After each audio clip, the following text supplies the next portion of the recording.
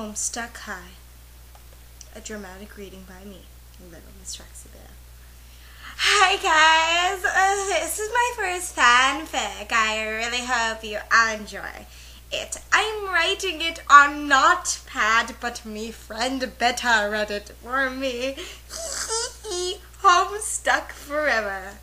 This spring fling was next week and John didn't have a date. He really liked Rose, however. He had liked her since second grade when she bit his arm and broke his glasses and made him cry. He took his books out of his locker and seen Rose walking towards him. He got really nervous and began to sweat. Hey, Rose, he said blankly. Uh, what do you want, loser? She replied coldly. I wanted to know if you wanted to go to the dance with me. John said.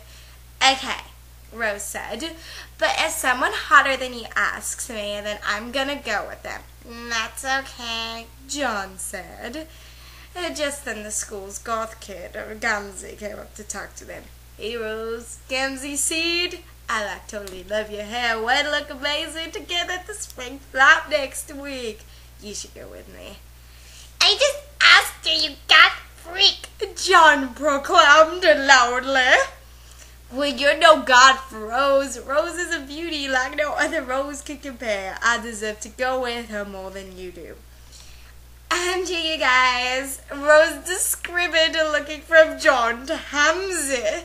Why don't you both take me to the spring fling next week? We could be a threesome. Okay. John and Gamzee agreed in unicorns. On the weekend, Rose went shopping with Jade and Ferrari to pick a dress. They got ready together at Jade's house. Rose was wearing a mini length leather tight dress which came up to her knees like one of those pencil skirts and it hugged a small frame tightly. It had no straps and it was held up by her boobies. It was bright green and it showed off her clevers.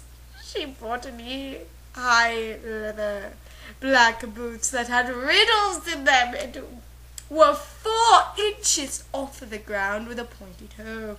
She wore her hair up in kind of a messy bun, bun with her bangs just below her eyebrows. She was wearing black eyeliner and bright red lipstick. She was also wearing a fake tan. Um, OMG, you look so hot, Rose. I would totally want to sex you.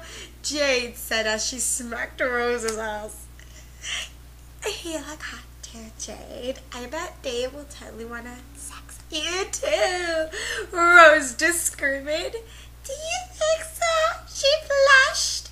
I'm a virgin, though. Don't worry, he likes virgins.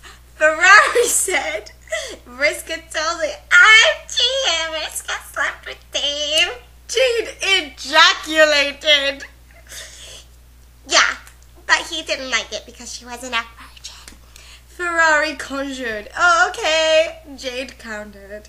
They all went to the party and everyone was there. Everyone danced with one another. The lights were flickering up between all different colors. All the different cliques were dancing together and it was really good. Dave ended up taking Jade early and Rose gave her a wink, but Vriska was jealousy. She wanted Dave for herself and didn't like them together.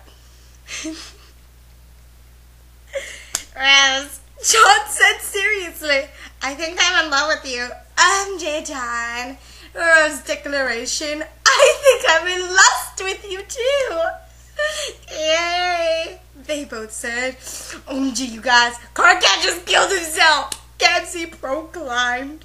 Hee hee, a cliffhanger. I hope you enjoyed it. Please review.